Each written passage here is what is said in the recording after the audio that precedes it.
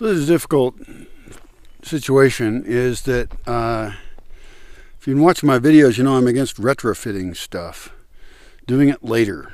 And what happens is people build whole cities and then later they decide, oh, we have to tunnel under those and put in a subway or tunnels of some kind.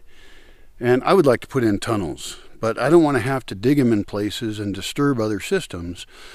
And so on this relatively raw piece of forest, it's not really raw since it's filled with forest, but uh, I want to put them in first. And so I've got a road over here, got a road over here, and a road that goes that way. And then other roads over there that connect up. And so I wonder this thing, this is a question I have for some kind of uh, architectural engineers or some kind of engineers that know more than I do. I want to put in tunnels and they'll be for walking. I'd like to keep cars on the surface. I'm not going to build tunnels for cars because that's a wider tunnel and I don't expect them to get used that much. But it'd be nice to be able to walk in the shade in a place that is uh, protected from rain, perhaps connects to root cellars and other things. But uh, and even I want to put a building over there that's dug in like two stories down. And so I'd like a one story down tunnel. Now, do I put those under a road? And the question is, how strong would those have to be?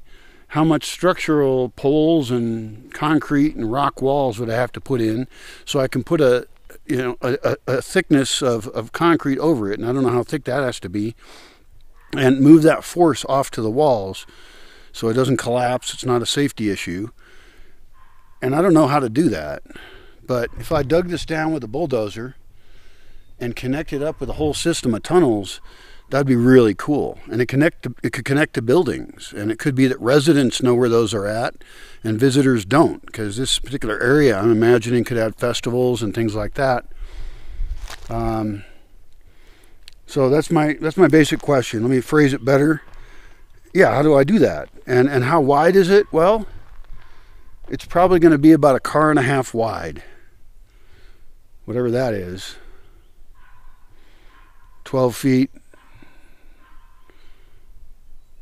three, four meters maybe. And how thick does it have to be? Even if there was an earthquake, never have a structural problem. I also want to run water tubes in it, electrical systems. I want to connect up a lot of stuff, and I don't want hanging electrical wires. I don't like electrical wires in the air because they look obnoxious. But if I bury them, sometimes those circuits go bad because they're not protected enough. And I don't want to put regular tubes under roads. You know, I'm not going to put sewer. I don't have any black water since I use composting toilets. Uh, I'm not going to. Well, I could transfer water through them too. That's that's an option, and it might cross them or something.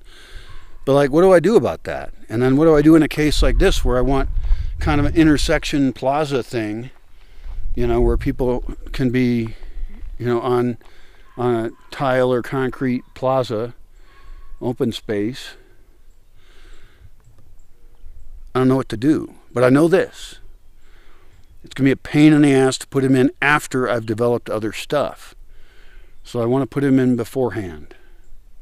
And then above it, for even cars, or because they're mostly going to be used for walking, since I'm not expecting a lot of car traffic, but I want to put over it a roof so people can walk in the shade or out of the rain around, and, then their pathway can be lit because it is dark as hell out here in the in the forest, especially if there's no moon or something.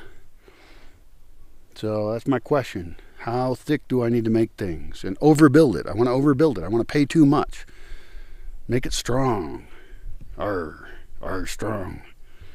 You tell me. I need engineers.